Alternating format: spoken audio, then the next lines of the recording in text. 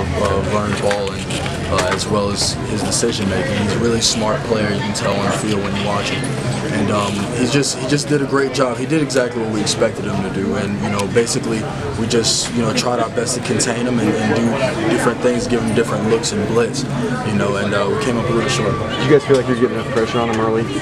Uh, early, no. We, we, we, felt like we needed to get more pressure. You know, we, we, threw a couple of blitzes his way, but we weren't really getting home. Uh, second half, we felt a whole lot better about the pressure we were getting on him, you know, and uh, forcing bad throws. And um, you know, at the at the end, it's just you know we, we progressed and we, we got better towards the end of the game, but you know, just came up really short.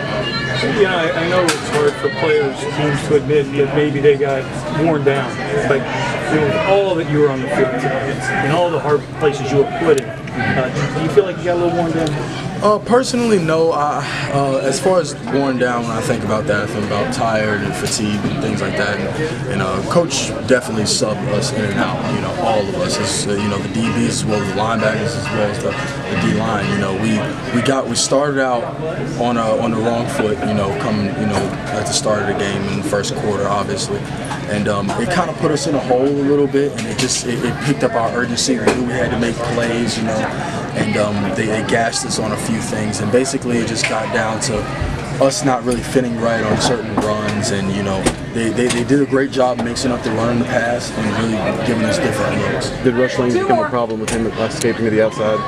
A few times, a few times. Not, um, you know, they, they, they definitely came out and, and had a great plan, you know, for how he was going to, you know, run towards our, our, our weak side. Ran towards our weak side a whole lot and um, he, definitely showed a, a, whole lot of elusiveness going in and out of the uh, pocket. It's, it's, he's a hard guy to tackle, but uh, for the most part, I felt like um, they did a great job. They came in with a, with a great plan, and um, Dak is a great quarterback, and he showed. What happened on that 15-yard touchdown run?